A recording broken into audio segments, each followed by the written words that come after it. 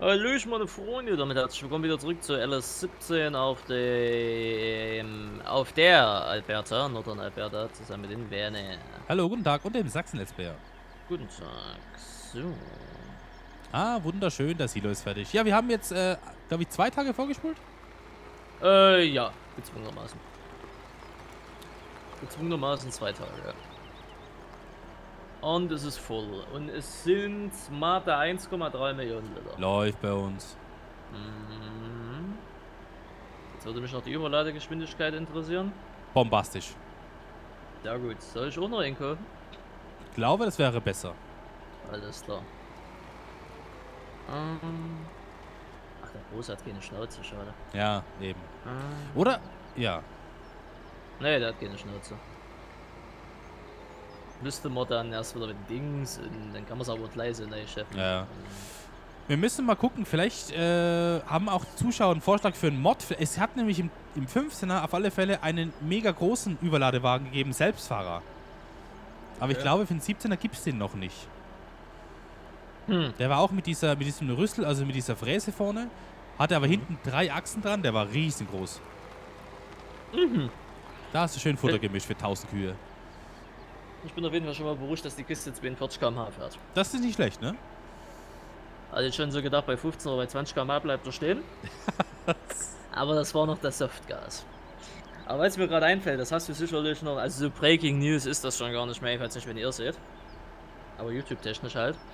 Ähm, äh, Kuchen TV gegen Newstime Hab ich, äh, ist schon länger her? Kam heute, also am Aufnahmetag raus. Nee, dann habe ich nicht gesehen. Mhm. Oh. Also es gab ja jetzt schon länger ein bisschen Beef zwischen den Parteien da. Ja. Und erst hat äh, J, äh, JF Not Kennedy da, das ist so ein 14-jähriger Meinungsblogger da. Also man kann eigentlich fast sagen, Julians Blog mit 15 Jahren. Und ähm, aber eine Statur von einem Kind und eine Stimme wie ein Kind. Okay. Und ähm, kann man davon halten, was man will, mir ist es ja Latte. Äh, der hat das ein Video gegen Newstime gemacht und da er wohl irgendwie einiges ausgelassen hat, hat Kuchen dann auch noch mal eins gemacht. Und so gab aber also jetzt, also ich weiß nicht, ob es jetzt mittlerweile schon eine Antwort gab, aber ne, zum Aufnahmezeitpunkt, wirklich der Zeit, weiß ich davon noch nichts. Aber ja, bin gespannt, da müsste es eigentlich, eigentlich müsste es da eine Reaktion dann drauf gegeben haben, bin ich gespannt. Aber wenn du es noch nicht gesehen hast, na gut, dann könntest du ja, wenn du irgendwann mal Zeit hast, nachholen. Ja, natürlich. Deswegen, deswegen. Ansonsten so Breaking ist auf YouTube Deutschland momentan echt nichts. Nicht, dass ich irgendwie. In der Welt passiert halt viel, ne, das ist ganz klar. Ja. Aber die Themen dürfen wir nicht ansprechen, ne, weil sonst wird das Video als nicht werbefreundlich markiert. Ohne Witz, ne? Ganz kurz. Ja. Ähm, Ja. Ich habe gedacht, das ist ein Spaß von dir, dieses nicht werbefreundlich, ne? Ich habe jetzt ein Video, äh, haben sie mir jetzt rausgestrichen, nicht werbefreundlich. Hm. Weißt du warum? Weil ich auf der Hof Bergmann in der Kalkmine war und das nur ein weißer Hintergrund war am Thumbnail.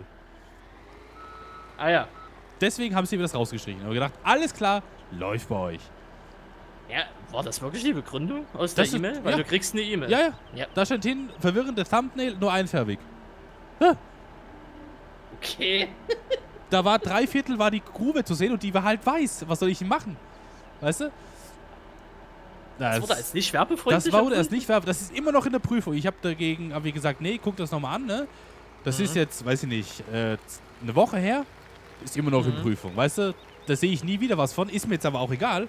Aber da habe ich mir gedacht, Alter, das kann doch nicht sein, wegen einem weißen Hintergrund. Okay. Das ist natürlich äh, auch nicht verkehrt. Ja.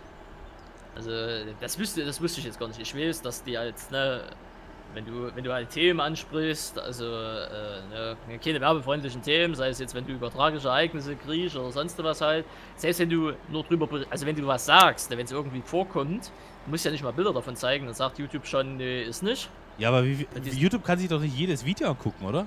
Äh, das macht ein Algorithmus. Ach du Schande. Äh, wenn du irgendwas im Titel schreibst, in den Text, in der Videobeschreibung, was irgendwie ansatzweise da, also was weiß ich, ein LeFloid berichtet über, über den aktuellen Anschlag. Oh, ähm, LeFloid berichtet über ein, ein Erlebnis in England, was Ja. werbefreundlich nicht ist, aber auch nicht explizit genannt wurde. Und äh, packt es natürlich in den Titel, weil er halt auch irgendwo drüber berichtet, dann kann sein, dass der YouTube halt ankommt und durch, also der Algorithmus und dank den Text dann oder halt durch den Titel sagt, alles klar, ist nicht werbefreundlich, tschüss. Was machst du da vorne eigentlich?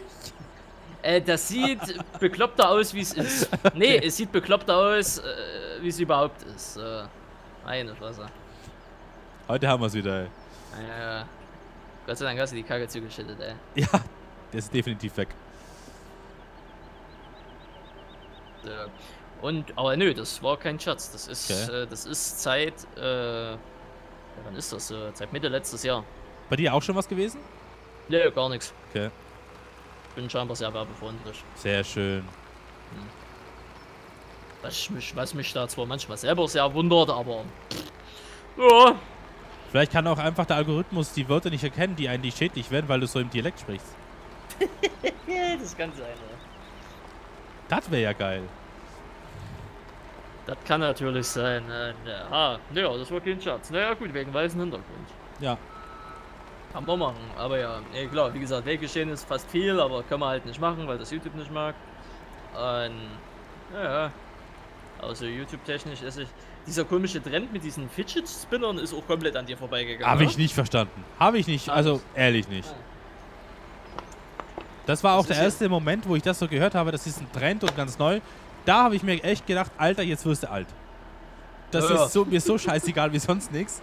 Und habe ich gedacht, nee, juckt mich nicht. Ich hab's auch nicht mehr, also ich habe das gesehen und gedacht, nö. Hm? Ja. Und irgendwann hieß es aber so, ja, das ist voll trendy. Vor drei Jahren, äh, vor drei Jahren, vor allen Dingen vor drei Monaten, äh, Amiland so einen Hype gekriegt. Jetzt halt auch in Deutschland. Gut, das habe ich dann auch mitgekriegt, weil Fidget Spinner in GTA 5, Fidget Spinner in Minecraft nachgebaut, Julian Bam, Fidget Spinner der Film, die 10 krassesten Lifehacks mit Fidget Spinner, ultra brutale Fidget Spinner, das hat er mit seinem Fidget Spinner gemacht, Fidget Spinner die unglaubliche Geschichte. Ja. Also wird halt natürlich alles ne, ans Maximum ausgeschlachtet, wie es nur geht. Ja, ja, klar. Ist ganz klar. Und irgendwie die Lehrer, die bedanken sich hoch, weil das natürlich auch jedes Kitty jetzt mittlerweile in der Schule hat. Ne, und die Dinger, wo ultra laut sind. Oder irgendwie sowas in der Art. Und gar nicht in den Unterricht stören, wo ich mir denke, naja, wie Armlehrer. Weißt du, wie ich es rausgefunden habe? Ja. Durch, durch äh, Alexi Bexi. Weil so. ich mir sein. Video angeguckt habe zu Elgato Streaming Deck. Mhm. Glaube ich, mhm. heißt das. Und da hat er so ein Ding benutzt. Naja, genau, genau. Das stimmt, das stimmt. Ähm, ja, was denn jetzt? Ja, der Trigger ist ein bisschen scheiße gesetzt. Ja, zeigt es mir ja an, aber... Wo spuckt denn der aus? Er spuckt doch auf der Seite, oder? Ja, ja, ist schon richtig. Warum entlädt er es hier nicht? Ist andersrum ran? Nee. Das hinten, das ist doch die Klappe. Ja, du musst ein bisschen weiter wegbleiben. So ein paar Zentimeter musst du wegbleiben. Achso, okay. Ja. Ich habe einmal hier entladen oder einmal hier entladen.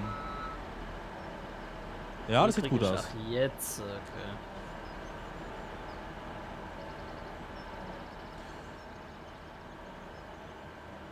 So, jetzt lass mich mal, kann ich das mit dem Radar da machen hier vielleicht? Dieses ganze äh, Sauberkeitszeug wegschieben? Oder muss ich das echt eine Schaufel holen gehen? Hatten wir eine Schaufel für einen Radlader? Nee, ne? Wüsste ich auf die Schnelle nicht, kann aber trotz allem sein. Alter, wie viel Mist wir schon haben. Ja? Ja. Äh, ach ja. Ja. Ja gut, ganz ehrlich. Der neue Miststreuer 70.000 Liter Kapazität. Kannst du immer voll machen und das war's dann. Ja gut. Ja, wir brauchen eine Schaufel. Verdammt. Äh, ich fahr ganz fix eine Schaufel holen. Ja klar. Ach, jetzt sehe ich auch dieses unreife Zeug, was sich in den Seiten verklemmt hat. Sehr schön. So, irgendjemand hat die Vorwärtszugeschaltung ausgemacht. Ich weiß nicht, wer es war. Ja, habe ich auch gehört. Jetzt muss ich ja noch mal was Gibt immer noch Leute, die das nutzen. Ja, das ist richtig. Die haben da immer noch Spaß dran, weiß ich nicht warum. Ja gut, fürs Lenkrad mag es ja auch Dings sein, für Tastatur finde ich es halt scheiße. Ja, klar. Ah, irgendwie fährt hier alles 43. Der große Radlader fährt 43, der kleine Teleskoplader fährt 43, der ähm, Silo King fährt 43. Hm. Läuft.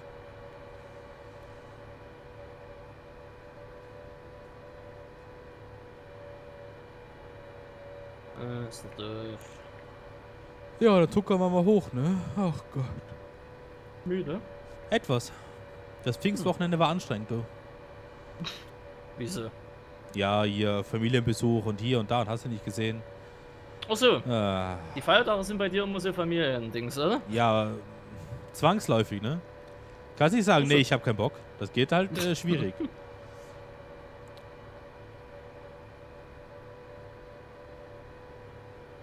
Zumindest sind sie nicht mehr so flüssig wie früher. Ist auch schon was. Hm. Äh, so, komm. Na komm, Menschenscanner. Die wieder abladen, die Maschine läuft mittlerweile.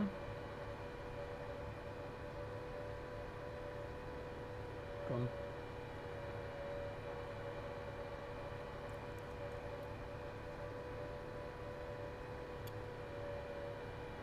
Hä?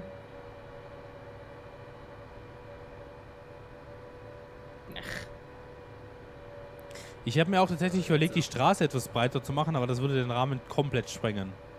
Okay. Also Straßenverbreiterung, das dauert ewig. Also ja. Läuft das Ganze wenigstens, ja, der Trigger ist echt bescheiden. Ja, ja. Wir können das auch mal mit der Schaufel reinballern, ist ja kein Problem, weißt du? Ja, ja, ja. Je nachdem, wie man es halt ähm, lieber haben möchte. Ah, Graben. Ich glaube, die Schaufel transportiert mit der großen 6000, das Ding transportiert ja schon 16.000. Ah ja, gut, dann ist, äh, haben wir einen Sieger. Selbst die größte Schaufel, die ich bis jetzt immer gesehen habe, das war eine mit 10.000. Also, muss ich mir vorstellen, also, ne, weil Giants das ja 1 zu 1 umrechnet, eine 10 Tonnen in der Schaufel, das Ja. Ja, aber Giants rechnet ja immer noch in Liter, glaube ich, ne? Ja, ja, na, ja, bei denen, ja, aber im Endeffekt ist ja die, die, die, die Milchmädchenrechnung bei Giants ein Liter, eine Tonne. Ach, okay. Also wenn du 42.000 oder 46.000 Liter hast, sind das irgendwie 46 Tonnen irgendwie für die. Ich weiß, das ist, ne, weil viele Leute sagen, das ist ein Liter und das geht doch noch mit Wasser. Ich sage ich sag immer wieder, ja, ja, ja, aber Giants rechnet das ja halt so. Weil äh, der Preis, den du ja für, für Dings halt kriegst, weil der, der wird ja nirgendwo angegeben, ne, 349 Euro ja pro Liter oder dann pro Tonne. Weil pro Liter ist ja noch ein größerer Schwachsinn. Ja.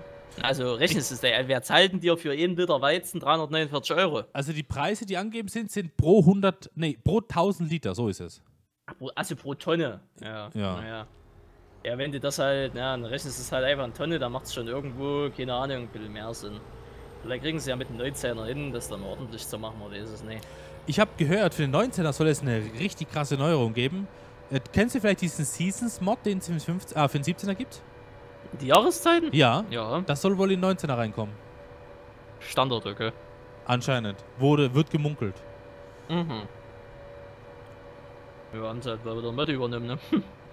Ja. Oder vielleicht haben sie den Mod übernommen, ich weiß es nicht. Oder Mutter übernommen, Ja. eins von beiden, ja. Das kann natürlich auch sein, aber nee.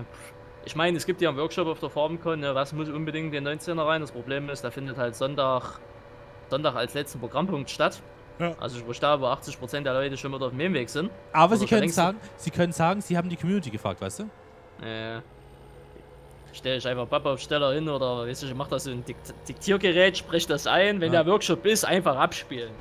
Müssen Sie mal dadurch fragen. Ich glaube, der hat da Erfahrung mit äh, Pappaufstellern. Ja, ja. Ich habe mich ja auch schon danach umgeguckt. ne? Ich wollte ja unbedingt wissen, weil ich habe weil ich hab ihn gefragt, woher hat er das Ding? Weil woher kriegst du einen Merkel-Pappaufsteller? Weiß ich Ja? nicht. Und er du einfach bei Amazon. Ich gebe so bei Amazon einen Pappaufsteller, zack. Da gibt's alles, Alter. Ich habe mir schon über. Das Problem ist, die kosten zwischen 35 und 40 Euro pro Stück. Okay. Je nachdem, was sie für eine Größe haben. Also er hat Lebensgröße, also bist du so bei 40 Euro. Und ähm, so, dort gibt's alles. Ne, also äh, Jennifer Lopez, ne, Chewbacca Ah. ist ganz klar, ne, Darth Vader, Emma Watson gibt's auch, Ja. ganz klar. Aber ähm, was ich da noch die Merkel in mehreren Ausführungen und ähm, was ich aber gesehen habe, habe ich mir gedacht hatte, das müsste ich eigentlich alleine als Gegenpart zu ihm nehmen. Das Problem ist nur, ich will keine 80 Euro dafür ausgeben. Heiko und Roman Lochmann. Ernsthaft?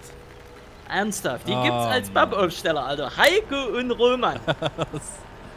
leider nicht im Doppelpack, halt leider nur einzeln, ne? Aber Also ich gedacht, die du dir doch in die Bude stellen, die zwei Klapsköpfe. Aber für 80 Euro weiß ich irgendwie nicht, ne. Ich hatte noch irgendwie was anderes gefunden, das war eigentlich auch ganz, ganz lustig, ich weiß doch nicht mehr, was das war. Ich glaube, war das, war das Gabriel oder so? Nur noch so einen Dicken in der Bude haben, das ist natürlich auch nicht, gut, den kennst du nicht, ne? das ist eher von uns von der... Ja, kenn ich schon. Ach, kennst du schon, Ja. ja, SPD, Fuzzi halt. Ähm, ha, ich glaube den noch oder so, ich weiß sogar, irgendwas hat schon noch gesehen, was ich sehr amüsant fand, aber die Preise haben mich dann doch abgeschreckt. Ja, glaube ich dir. Ne, das ist ja, das wäre eh ein Medium-Skin wäre das. Ja. Ja, oder zwei oder zwei Medium-Skins, weißt du, hast du die Loris doch Bruder, Alter. Dann kommt dich deine Mutter immer im Monat oder im, eh im halben Jahr immer besuchen, weißt du, und fragt, was sind das für Klapsköpfe hier? Musst du dann mal erklären, warum du dann hier zwei Pappfiguren von den Loris drin hast. Ja. Für die Werbefreundlichkeit. Richtig, das wäre wiederum Werbefreund, Ja, das ist richtig. Battle hast du ja noch nicht angeguckt, 454, oder? Äh, war das heute? heute zum, heute zum Aufnehmen. Da, wo du wieder reingelagt hast? Richtig? Ja, habe ich geguckt, ja. Ah, ja, okay. Ja gut, das fünfte ist auch schon aufgenommen, weil er im Urlaub jetzt ist. Ah, okay. Ja. Ich will nicht spoilern, lasst euch überraschen. Aber wir sind eh erstmal Wir sind eh erstmal fertig. Freunde, Däumchen da. Äh, hast du anmoderiert? Nee, ich glaube, du warst das, passt schon. Ah, Däumchen da lassen, nicht vergessen. Bei André, genau bei André, bei Werner vorbeischauen und dann dementsprechend bis zum nächsten Mal. Tschüss. Tschüss.